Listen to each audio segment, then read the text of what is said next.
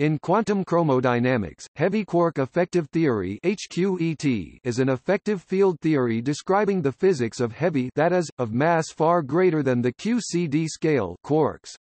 It is used in studying the properties of hadrons containing a single charm or bottom quark.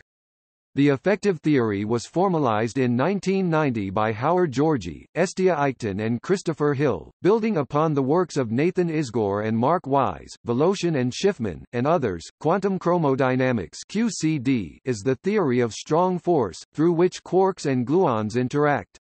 HQET is the limit of QCD with the quark mass taken to infinity while its 4 velocity is held fixed.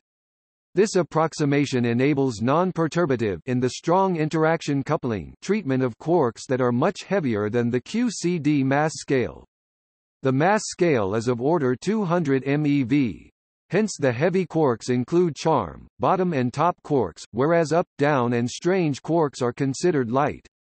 Since the top quark is extremely short-lived, only the charm and bottom quarks are of significant interest to HQET, of which only the latter has mass sufficiently high that the effective theory can be applied without major perturbative corrections.